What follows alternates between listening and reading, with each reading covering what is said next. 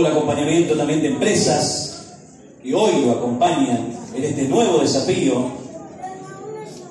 Y le voy a pedir a Raúl que nos acompañe para dar a conocer a quién tenemos que destacar en esta oportunidad. Luego vamos a conocer al deportista de año.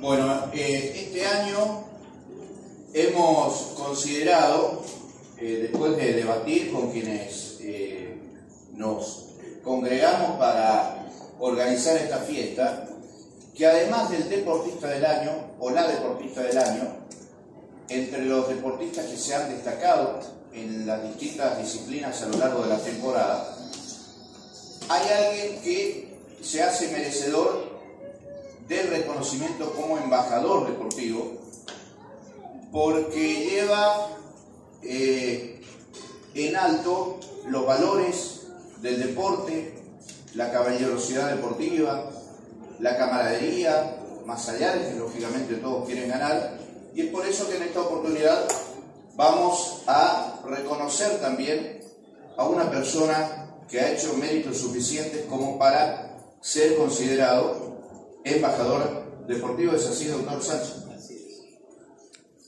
Bueno, algo lo habíamos dicho en, mis palabras iniciales.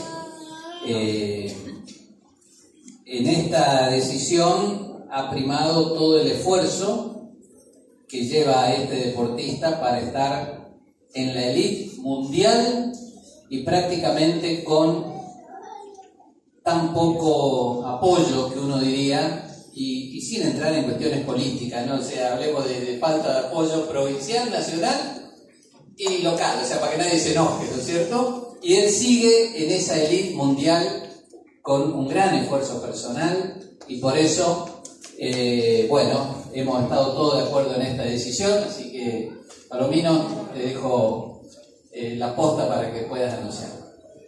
Bueno, abanderado, embajador, el nombre elegido en esta oportunidad, esperemos que no se haya ido. Carlos Alejandro Versa, embajador deportivo del presidente Carlitos, el reconocimiento de la gente, un hombre humilde, trabajador, de mucho empeño, de mucha constancia. El día llegó a Peña porque él, por cuestiones laborales, debe también eh, realizar actividades en otras partes del país y tímidamente pidió permiso para una entrevista, para ser conocido, con el sueño de competir en el Dakar y hoy está en cuatro Dakar. Cinco ya con el que se va a venir, Como piloto y mecánico, ¿eh? En todo el esfuerzo. El aplauso para él.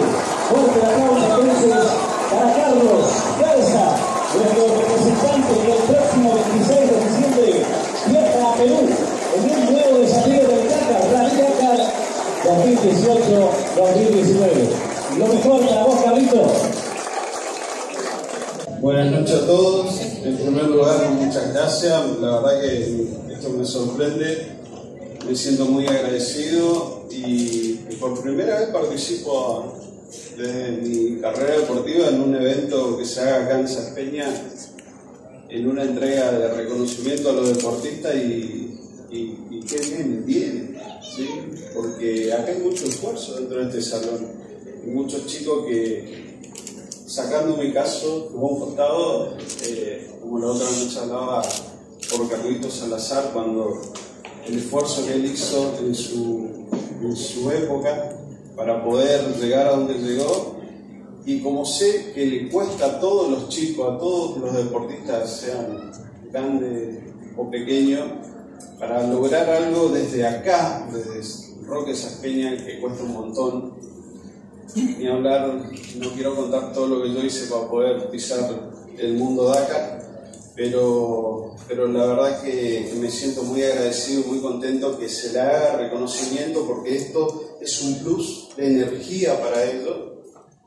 Eh, se siente, eh, como deportista que soy, eh, mencionarlo a, a, tantas disciplinas como mencionaron esta noche, creo que va a aumentar la capacidad de, de deportistas para el próximo año y se van a potenciar más ellos mismos y creo que el deporte es salud y hay que invertir en el deporte porque con todo lo que nos toca vivir hoy día, con tanta adicción y todo lo que, que habitualmente conocemos, creo que la inversión en el deporte, en, todos diferentes tipos de deporte, eh, lo considero que es salud y, y es bienestar para un pueblo, para una sociedad y una, donde se aprende a competir sanamente y se pueden lograr grandes cosas.